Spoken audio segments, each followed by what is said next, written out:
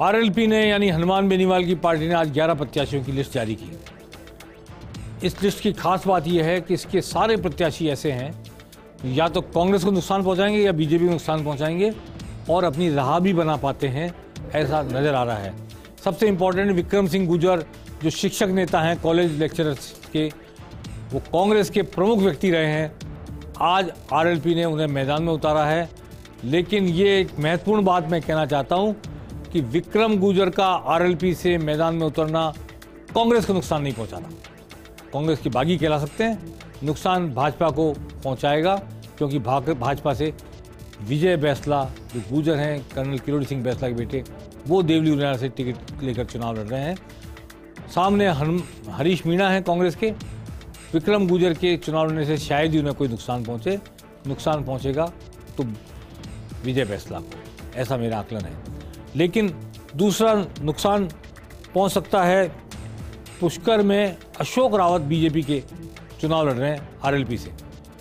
Ashok Rawat BJP से ticket मांग रहे थे आरएलपी से लड़ रहे हैं चुनाव, और सुरेश रावत जो कई बार से विधायक हैं पुष्कर से, उन्हें नुकसान पहुँचा सकते हैं अशोक रावत, उन्हीं के सामने टिकट मांग रहे थे। सचिन सांखला को टिकट दिया गया है मसूदा से आरएलपी ने। काफ़ी जाट वोट हैं इस इलाके में। जाट गुजर और वैश्य समुदाय और ब्राह्मण, ये चार बड़ी जातियाँ, राजपूत भी हैं। और बीजेपी का प्रत्याशी भी नहीं है, लेकिन राकेश पारिक कांग्रेस के जो सचिन पायलट के राइट हैंड हैं, वो चुनाव लड़ रहे हैं वापस से, वर्तमान विधायक हैं।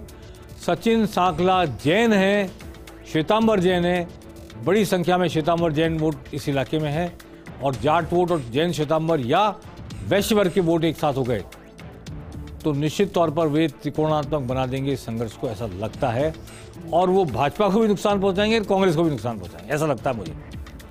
इस तरह कई प्रत्याशी घोषित किए गए हैं, जिसमें बैरवा हैं, दाता रामगढ़ से महावीर बिजरानिया हैं। इस तरह शेखावटी की बैठ में कई जाट प्रत्याशी आरएलपी ने उतारे हैं, जो संघर्ष में दोनों तरफ़ से जब जाट है, कांग्रेस, बीजेपी, वहाँ एक तीसरा जाट और, या चौथा जाट और मैदान में आ गया है। तो अब कहाँ कहाँ त्रिकोण होगा, कहाँ कहाँ चतुष्कोण होगा, ये जल्दी सामने आ जाएगा।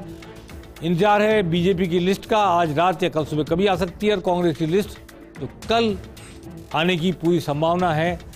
इन दोनों सूचियों के आने के बाद स्थिति स्पष्ट होगी कि प्रदेश में क्या हवा है, क्या फिजा है, कितनी बगावत है, कितनी समझाइश है।